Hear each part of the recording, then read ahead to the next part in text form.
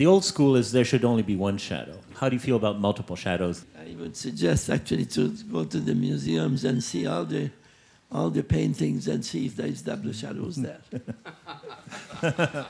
Okay. And since the painters didn't put double shadows in, which existed in those days also, I'm very happy not to have double shadows. I'm definitely old school. One sh- you're one, uh, one, shadow guy. One shadow, yes. The problem with double shadows is that it's distracting. And it, it may be reality. There may be times when you have double shadows, but you should avoid that if you can in, in shooting a movie uh, or doing a still photograph. We, we, we lost that, uh, what we learned actually from the past. A newer generation of filmmakers, film students, they start out using soft light. And they're in love with that. And I hate that kind of an approach for lighting because it's, it's not lighting, it's lighting for exposure.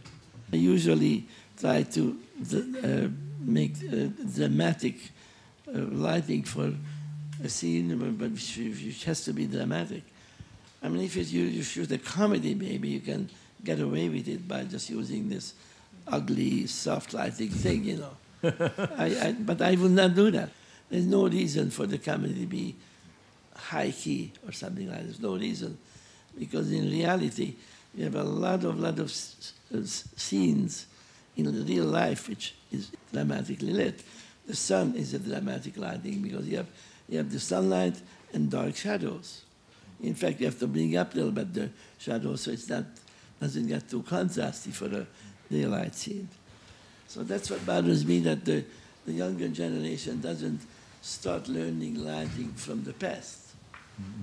But we, we actually learned for 50 years. So that, that's my opinion about mm.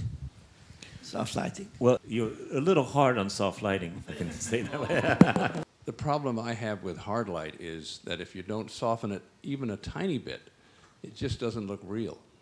So you might just put an opal in front of a 10K or something, but it takes the edge off of that funny shadow that's made by the Fresnel lens, which is an ingenious invention. But I think it needs to be softened unless you're doing some film noir or uh, the artist, then use hard light. But otherwise, soften it a little bit so that it looks more real. Oops, here comes film motion. Just a question, Jimmy. Have you heard about the word fill light? the fill light is the one which softens actually the light of the hard light. And you can use more fill light or less fill light, and you control the contrast. That's the way I used to do that. Ah, thank you, Bill. the topic of Fresnel versus Pars. You, you asked the right man for this, right? okay, yes. yes, I am a cinematographer who loves, who, love, who loves actually work with the directional lighting, you know, Fresnel lights, because I can always diffuse the Fresnel, light, Fresnel lights to, to make it soft light, but uh, you cannot do it the other way around. And the way I light, I, I, I, first I, I want to light actually the story itself, the, the, the actors. I can always uh, uh, cut the light off of places where I don't want the light to go. That's why I, I have a hard time to really control those lights because they're very soft, they reach too far. If I'm in a set, you know, it's white walls, forget it.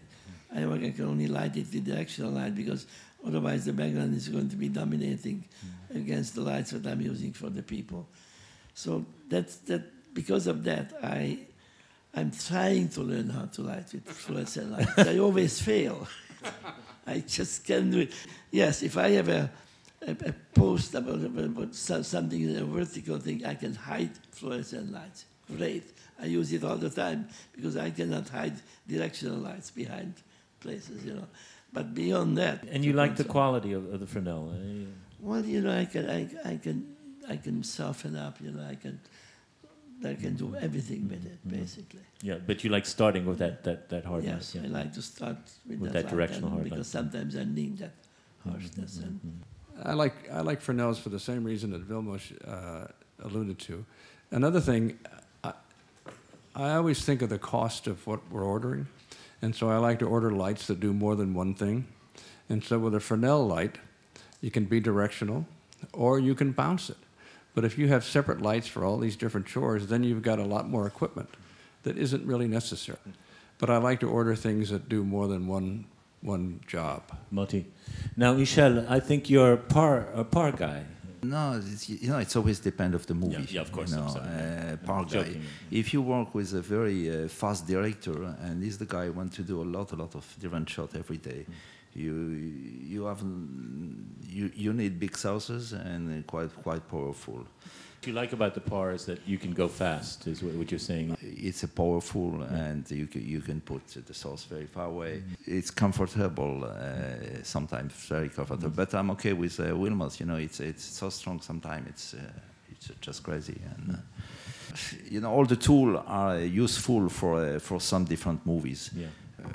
Action movie when you have to walk uh, fast, I, I find and it's a nice way. Pierre Morel, Yes. he, he was a DOP, Yeah. and uh, and uh, you know you have no excuse with the guy when the guy was a DOP. uh, you, you you can you can tell him stories about uh, problem of light. uh, you know, uh, you, you, you're naked, you're completely naked. and this is the the, the, the the sea of nightmare for DP to work with DP.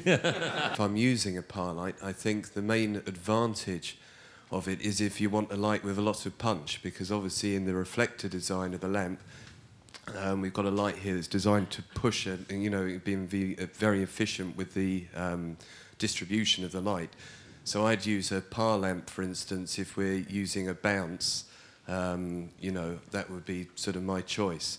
The thing you have with a par light is you've got a box of lenses with you, and that's another thing that you've got to carry around with you. You know, you're not only carrying this lamp, there's a box of lenses.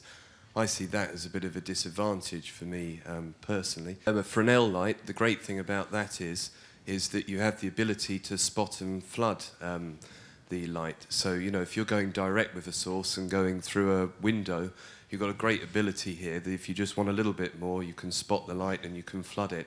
If you're going direct with a source, I think the Fresnel is always the, for me, the best source to use. Um, moving it along as well with the modern technology, we now have the um, new reflector designs in the par lamps now.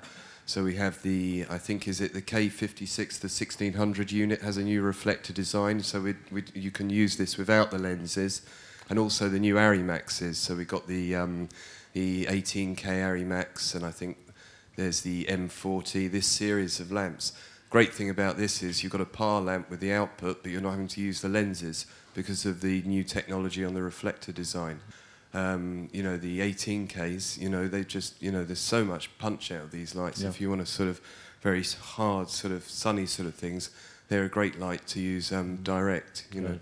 From my point of view, it's logistics really. As Reuben was saying, that you have a lens box and you have a ballast, and, Yeah. and also the basic, the tungsten lamp is, is so basic that you can fix it in field. With the advent of electronics, and you, you have to send that back to the to the yard, and if you're miles away from your service uh, service company, you know, that's part of the, th the thought process. Yeah.